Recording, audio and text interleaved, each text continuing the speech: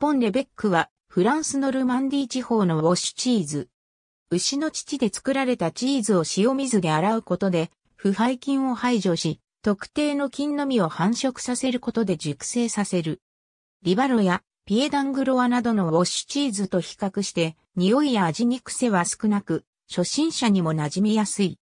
熟成が進んで弾力感の中に、ペースト状の柔らかさが出てくれば頃合いで、片焼きパンと合わせて赤ワインで流し込む食べ方が一般的。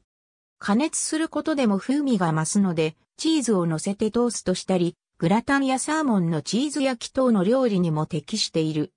ポン・レベックは12世紀にはすでにノルマンディ地方で作られていた。現地の言い伝えでは、修道院で最初に作られたとされ、多分現在生産されているもので最古のものであろうと言われる12世紀には、アンジェロと呼ばれており、良い食事の最後には必ず、アンジェロを食べるという当時の記述がある。16世紀以降に、フランス全国でよく食べられるようになり、その頃から生産の中心地である、ポンレベック村の名前にちなんでポン、レベックと呼ばれるようになった。ありがとうございます。